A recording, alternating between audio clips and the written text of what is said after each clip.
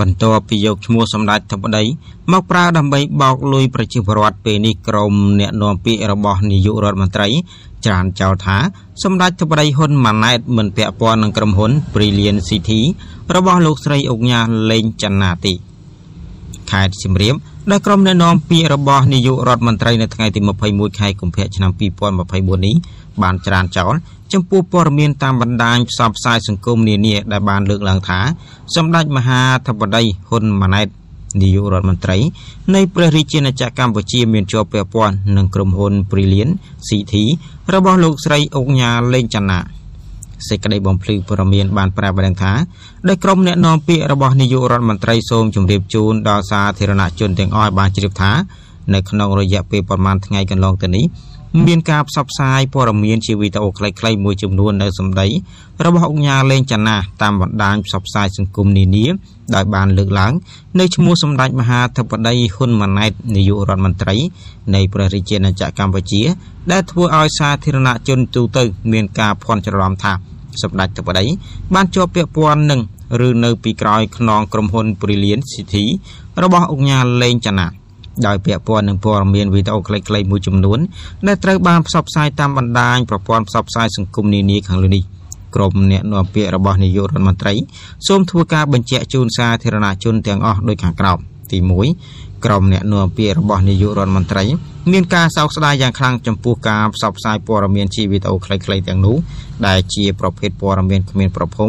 និងគ្មានមូលដ្ឋានច្បាស់លាស់ដែលធ្វើឲ្យសាធារណជនជួបទៅ មានការភ័ន្តច្រឡំ នឹងនាំឲ្យប៉ះពាល់យ៉ាងធ្ងន់ធ្ងរដល់កិត្តិយសសេចក្តីថ្លៃថ្នូរនិងភាពស្អាតស្អំរបស់សម្ដេចមហាធិបតីហ៊ុនម៉ាណែតនាយករដ្ឋមន្ត្រីនៃព្រះរាជាណាចក្រកម្ពុជា ទី2ក្រុមអ្នកនាំពាក្យរបស់នាយករដ្ឋមន្ត្រីក៏បានកត់សម្គាល់ឃើញដែរថាដោយការពីថ្ងៃទី16ខែកុម្ភៈឆ្នាំ2024កន្លងទៅថ្មីថ្មីនេះពុកញ៉ាលេងចន្ទាដែលជាអគ្គនាយិកាក្រុមហ៊ុន Brilliant City ក៏បានចេញនៅសេចក្តីប្រកាសព័ត៌មានមួយ បាក់និស័យចំពោះការផ្សព្វផ្សាយតាមបណ្ដាញផ្សព្វផ្សាយសង្គមនានាដែលថាខ្លួនបានយកឈ្មោះសម្ដេចធិបតីទៅប្រើប្រាស់ក្នុងរូបភាពបោកប្រាស់ប្រជាពលរដ្ឋនោះនិងប្រកាសកុំឲ្យសាធារណជនទូទៅមានការយល់ច្រឡំថាសម្ដេចធិបតីមានការពាក់ព័ន្ធនឹងឬនៅពីក្រោយខ្នងក្រុមហ៊ុន Brilliant City ហើយនៅថ្ងៃទី20ខែកុម្ភៈឆ្នាំ2024 ឧកញ៉ាលេងចនាក៏បានចេញលិខិតសារភាពកំហុសនិងសូមអភ័យទោសពីសម្ដេចធិបតីចំពោះការលើកឡើងថាសម្ដេចធិបតីជាអ្នកបង្កើតសមាគមពលករនិងអតីតពលករដើម្បីសប្បុរសធម៌ផងដែរ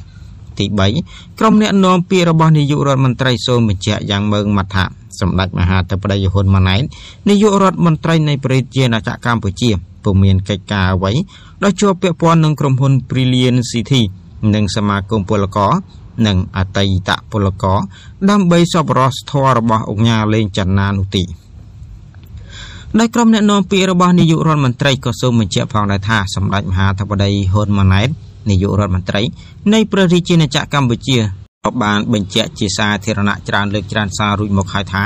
សម្ដេចធិបតីមិនគ្រប់គ្រងឬនៅពីក្រោយអំពើខុសច្បាប់របស់បុគ្គលណាម្នាក់ឡើយ។ ព្រមទាំងជំរុញឲ្យអាជ្ញាធរមានសមត្ថកិច្ចអនុវត្តច្បាប់ឲ្យបានម៉ឺងម៉ាត់បំផុតលើបុគ្គលទាំងឡាយណាដែលយកឈ្មោះសម្ដេចធិបតីទៅពាក់ព័ន្ធនឹងអំពើខុសច្បាប់របស់ខ្លួនហើយក៏សូមជម្រាបផងដែរថាដែលការពីពេលថ្មីថ្មីនេះគឺមានប្រជាពលរដ្ឋមកពីគ្រប់ខេត្តរាជធានីរួមទាំងតំណាងពលករមកពីប្រទេសកូរ៉េផងប្រមាណជាង200នាក់បានមកធ្វើការតវ៉ាជាមួយក្រុមហ៊ុន Brilliant City ដែលមានទីស្នាក់ការនៅភូមិចន្លង់សង្កាត់សាលាកំរើក្រុងសៀមរាបបន្ទាប់ពីពួកគាត់អះអាងថាបានដាក់ប្រាក់រកស៊ីជាមួយក្រុមហ៊ុនមួយនេះដែលសរុបប្រមាណជាង300លានដុល្លារដើម្បីបានការប្រាក់ខ្ពស់ប៉ុន្តែទីបំផុតបាត់ទាំងដើមបាត់ទាំងចុងក្រមប្រជាពលរដ្ឋដែលបានមកតវ៉ាបានអះអាងថាការដែលពួកគាត់ហ៊ានខ្ចីលុយពីធនាគារម្នាក់ម្នាក់រាប់ម៉ឺនដុល្លារមកចងការប្រាក់ជាមួយក្រុមហ៊ុនអុកញ៉ាលេងចនាក៏ដោយសារតែអុកញ៉ារូបនេះបានយកឈ្មោះសម្ដេចធិបតីហ៊ុនម៉ាណែតមកប្រើជាញឹកញាប់